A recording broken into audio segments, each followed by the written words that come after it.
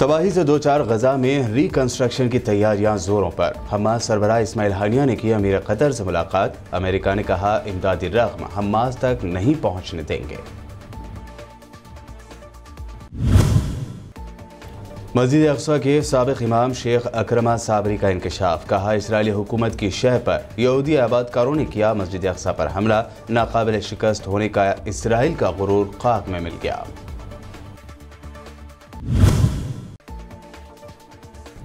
Israel के क़याम के खिलाफ और फ़लस्तियों का सपोर्ट कर रहे निट्योरी कार्टा ग्रोह के यहूदियों ने कहा फ़लस्तियों का कत्ल आम सिर्फ़ इसराइल के खात्मे से ही रुक पाएगा। मुल्क की माशी हालत हुई बदहाल तो कांग्रेस ने ट्वीट कर फॉर्मर पीएम मनमोहन सिंह की फ़ोटो की शेयर। लिखा, मनमोहन जी की ताकतवर क्यादत में हुई तेज इकनॉमी पर मोदी सरकार ने लगा दिया ब्रेक।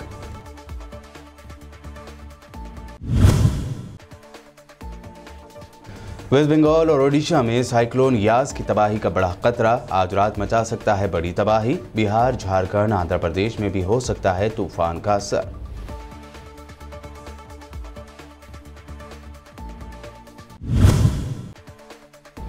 साल 2021 का पहला चाँद ग्रहण कल बुध को होगा। भारत के चंद ही इलाकों में आएगा नज़र। दोपहर दो बजकर सोलह मिनट से होगा शुरू, जबकि शाम सात बजकर इक्कीस मिनट पर होगा चाँद ग्रहण खत्म।